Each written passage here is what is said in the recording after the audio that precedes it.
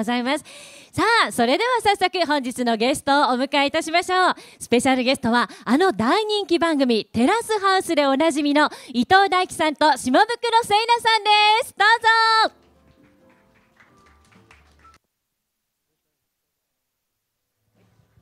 こんばんは。こんばんは、お願いします。こんばんは。こんばんはお願いします。皆さんにその姿をしっかりと見せてください。よろしくお願いしよろます。しくお願いしますお願いします。今日たくさんの皆さんにお集まりいただいているので、そうっすねすごいですねね一言ずつなんかご挨拶いただいていいですか？えーっと、伊藤大輝です。よろしくお願いします。よろしくお願いします。本当に一言。寒い、寒いですね、すげえ。寒かったですね。はいそんな中、あせいなさんは、はそうですね。ちょっと張り切っちゃってます。すごい寒いのにね。はい。えっと島袋聖奈です。えっと寒い中、えっとお越しくださってありがとうございます短い時間ですがよろしくお願いします。よろしくお願いいたしおます。願いします。ではお座りいただいてお話伺いましょう。ではせい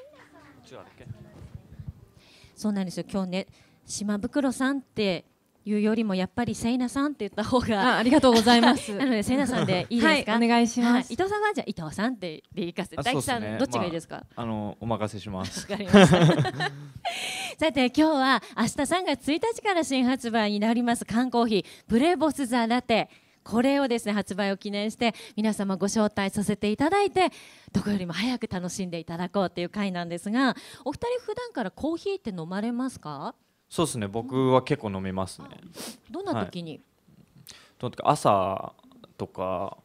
海僕さウィンドサーフィンやってて、まあ、サーフィンとかスケートボードとかもやるんですけど海入る前とかに飲んだり結構移動が車で多かったりするんで3時間とかもドライブするんですよ。一人で。だから結構朝飲んだりとかちょっと疲れたらコンビニ寄ったりとかして飲んでますね結構、う結構じゃあもうコーヒうーん。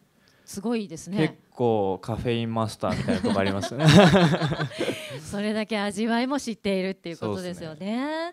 えせなさんはコーヒーいかがですか？私もそうですね。たまに飲みます私は。であの朝ゆっくりの時とかは母が入れてくれてコーヒーとかを入れてくれてるのを私は飲む感じです。はい。なんかもうゆっくりした癒しの時間にコーヒーってうん最高ですよね。そうですね。ね結構うん海外とかでもコーヒー飲むんですけどなんか日本ってなんかこう時間が結構早いなってすごい感じちゃうんでそれでコーヒーとか飲んで朝ゆっくりそうですねできる時間があったらちょっと違うなみたいな幸せだなって時間ですよね。そ そうねいう時間ってね本当に、はい。あお二人ともコーヒーお好きだっていうこと分かりましたけれども缶コーヒーはどうですか？缶コーヒーですか？私正直缶コーヒーにあまり馴染みがなくてあのちょっと男性が飲むっていうイメージじゃないですか、なのでそうなんですよ。あんまりうん正直馴染みがないです、まあでも多分同世代の今日女性のねあの後ろの方に女性の皆さんたくさんいらっしゃるんですけどはい。やっぱりそういう意見多いですので安心してください。でも今日このねプレボスザラテを飲んで、はい。きっとファンになっていただけると缶コーヒーファンになっていただけると思うので、はい。はい。伊藤さんどうですか？僕結構飲みますね。なんか缶あの海の前とかでなんだろう別にカフェがいつもあるわけでもないんで自販機でピッて買って海上がった後とかも今とかめっちゃ寒いんでピッてあったかいの買って飲んだりとかしてますねよく。海上がった後のこう缶コーヒーってほんのり甘みもあったりするじゃないですか。そうですね。最高でしょうね。最。高ですね。もう糖分欲しくて欲しくてしょうがないんで最高にうまいですね。そうですよね、はい。だって今日はですねお二人が普段インスタグラムに上げている写真をですねいくつかお持ちいただいてもうちょっとプライベートのお話も伺っていきたいと思います。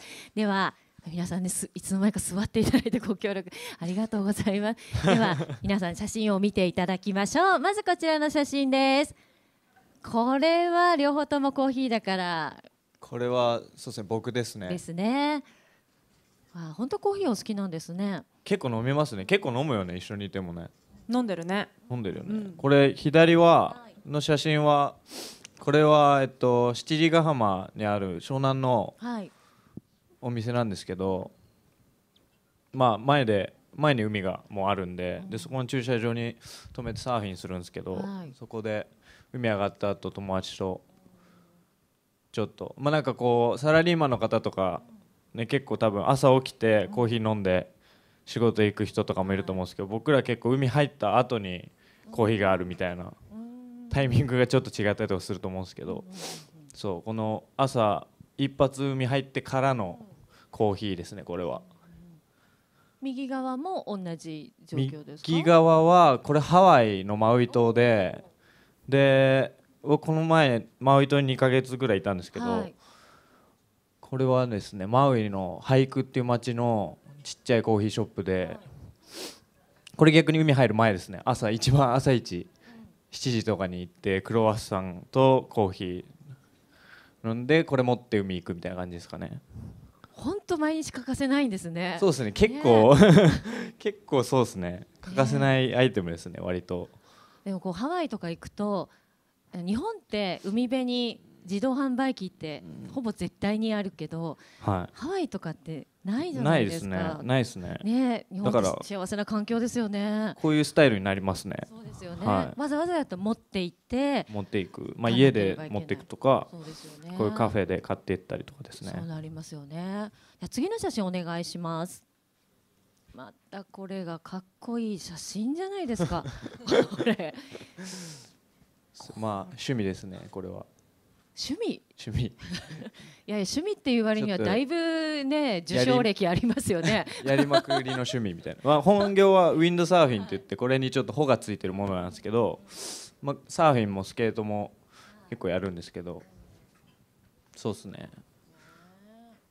まあ多分これはコーヒー飲んでますねきっと 調子良さそうなんで多分コーヒー飲んでんじゃないかな もう本当パワーの源ってことですね。はいあーじゃあもう一つ写真持ってきていただきました。これはね、これこれはコーヒー飲んでますね多分おそらくはいめっちゃくちゃ気持ちよさそうですね。何ですかこれ？これハンモックですね巨大なこれもそのマウイのはい。